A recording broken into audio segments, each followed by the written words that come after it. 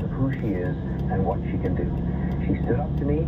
She changed my mind when she had to, but she also had my back. And in doing all of those things, she made me better as a mayor, and she made the city better. And you can bet the other candidates had plenty to say. Olivia Chow who's been leading in the polls, reminding voters, Tory and Doug Ford, who said he's supporting Mark Saunders, are only two votes, and it's people who elect the next mayor. Chow is also holding a rally this evening. Mark Saunders has declined his invite